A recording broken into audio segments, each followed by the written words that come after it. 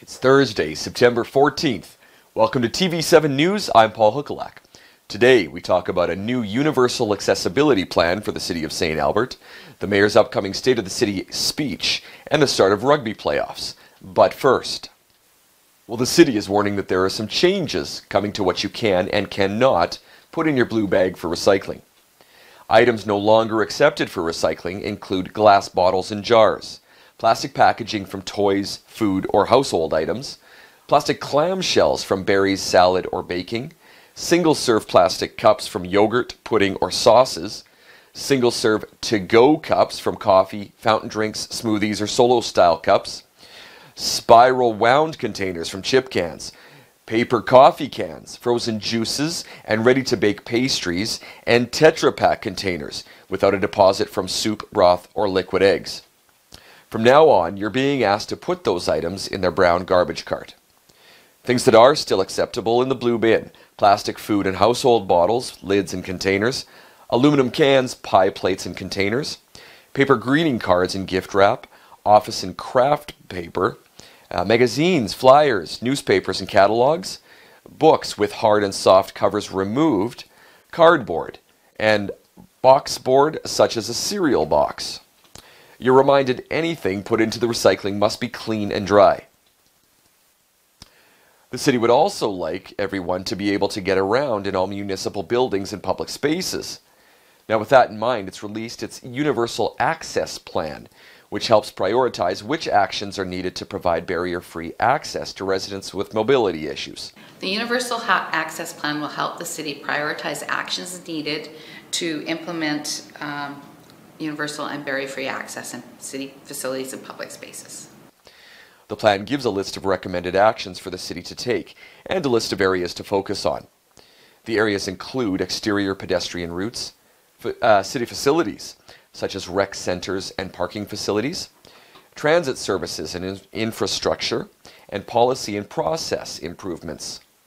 The initial prioritization is a, a review of the Fountain Park, City Hall, and Service Place to determine uh, what areas need to should be improved. Universal access is, is slightly different than barrier-free access because what it does is it uh, tries to make spaces better for everyone by not concentrating on a specific disability. Um, and it can also be used for people who are parents using strollers or um, people who are carrying large packages or um, just have a temporary disability. Usually when we think of, of universal accessibility, we think of people who are already disabled. Whereas people people's abilities change as their life goes on. You could have a temporary disability from you know broken leg or, um, or, an injury, up to being pregnant, you know, having children, and then as you get older, needing a walker and eventually possibly a wheelchair. Hmm. So your life, you know, life changes and our abilities change as we get older.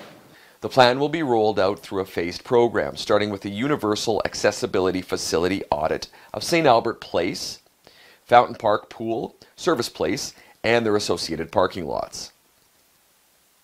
And in addition to looking at how they can make St. Albert more accessible, the city is also exploring improvements to transportation. September 10th, the city presented its first Intelligent Transportation Systems Strategic Plan and Implementation Strategy. The goal of the plan is to use new technologies and innovations to help ease traffic congestion, minimize environmental impacts, provide real-time information to users, and increase the effective and efficient movement of people and goods in St. Albert. The ITS strategy has been underway since June with a focus on St. Albert Trail. Among the changes made to St. Albert Trail include significant improvements to traffic signal controls, which can now use real-time information to help manage the flow of traffic through the day.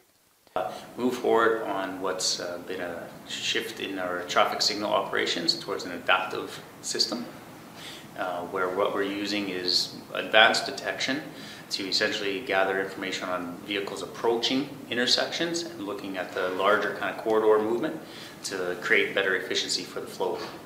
We started in 2018. Um, we essentially through the, throughout uh, 2010, actually back to 2010 is when we started laying the foundation work for the network to be capable of taking on uh, in the intelligent transportation systems technologies.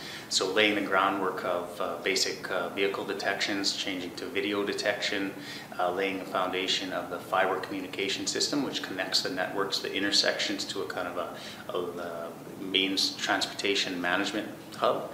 Um, and then now we're at the point with all those capabilities and the, um, the system that we have, we're making a shift towards um, one of the first, first priorities is adaptive signal control. And that's a movement that we've been focused on in 2018 along St. Albert Trail.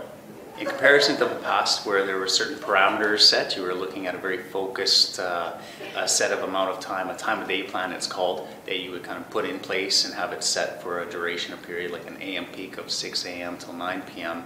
Um, this essentially now the system uses the detection to say with what the vehicle movements are upstream and downstream and on the side streets of the full corridor, it's saying that in that real time it's taking into account those demands and saying per location, it's saying what's best efficient for that per location, but also looking and communicating with the downstream uh, intersections as well in proximity and saying it's this is the most efficient for the corridor. The city has also installed Bluetooth travel time devices along the road, which can measure operations on the road network and may be shared with road users, users to assist in travel planning. So moving forward, there's a lot of different strategies. I think uh, in and about there's 40 strategies within that plan. It's within the total encompassing plan itself. So you know there's a substantial amount of activity um, that uh, fully implement the plan. By no means adaptive uh, signal operations is just one small component of it. So it's a priority for us, um, and the plan's been implemented or, or, proposed at any rate in a, in a kind of prioritized way that our current resources can, can be allocated towards. Um, but moving forward, it's ultimately just you know looking at the uh, the technologies that are out there, applying them, evaluating them, and making sure that it's it's best for our system and then working efficiently, effectively, and then expanding potentially on those on those for greater use. The city will evaluate the St. Albert Trail improvements over the next year and then make a decision if the changes should also be rolled out in other locations. This upcoming Wednesday, Mayor Cathy Heron will be giving her inaugural State of the City address. She'll be talking about where St. Albert currently finds itself, the challenges and opportunities facing the community, and the future it has to look forward to. The State of the City address is hosted by the St. Albert Chamber of Commerce. After the break, a look at some local sporting clubs as the fall season gets underway. St. Albert isn't just a great place to raise a family. St. Albert is home. Hi, I'm Kim Opolinski. Living and loving St. Albert for over 30 years. I'd love to help you buy or sell a home. We are working really hard to bring you quality local entertainment. We hope you're happy with our results. Every child deserves a clean, safe environment. Proudly servicing St. Albert families for over 18 years. Enchanted Forest Daycare. Turning now to some local sports. Playoff season is here for the St. Albert Rugby Football Club. Club president Simon Hill says some big games are getting underway shortly. So uh, yeah, next weekend uh, we, we start off with playoffs, so semi-finals of the Edmonton area, and then the winner of that uh, goes on to the, the final of the Edmonton region, and the winner of that match then goes to the provincial finals. Uh, the semi-final will likely be here. We've got to see how the final standings roll out, right? Um, and then uh, the, the, final for the Edmonton region, that, that'll be at the Ellerslie Rugby Park. Uh, we, have got a link on our website, so stalbertrugby.com, um, and also the Edmonton uh, Rugby Union, they've, they've, got the schedule as well. Meantime, fall registration is underway for St. Albert Sports and Rec. We sat down to talk with them this week to talk about St. Albert's premier co-ed recreation league. If one of your favorite memories growing up happens to be intramural sports, then maybe a recreational sports league is for you. I've recently had the opportunity to sit down with a couple of the founding members of St. Albert Sports and Rec, Mary and Wendy.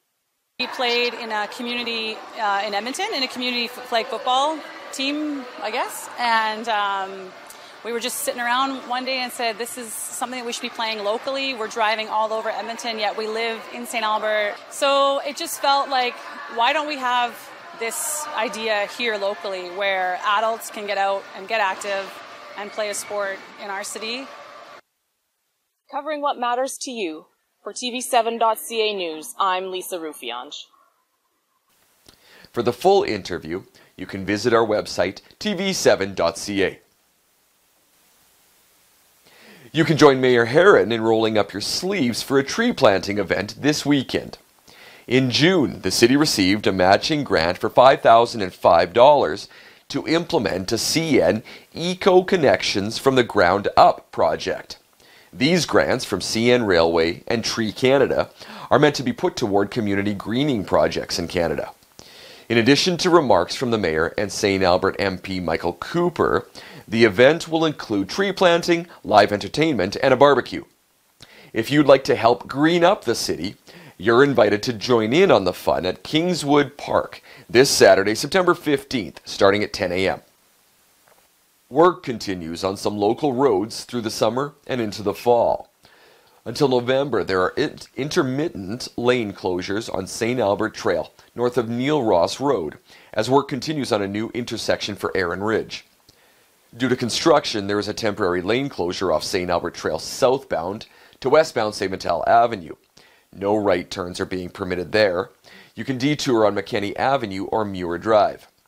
And the City of Edmonton also wants St. Albert residents to know there's roadway construction on 127th Street, just north of the Anthony Henday.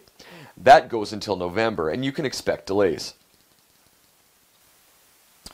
As summer turns to fall, scarecrows will be taking over Kinex Arena this Sunday. September 16th, you and your family are invited out for an annual Scarecrow Skate. The event is free for the whole family and will feature skating, games, hot chocolate, and Timbits. The event gets underway at 1:45 p.m. and runs until around 3:15 p.m. And that'll do it for today. Don't forget, if you have any news tips or community events you'd like to share with our viewers, you can email us at news at tv7.ca or message us on our Facebook page. From all of us here at tv7.ca, I'm Paul Hooklack.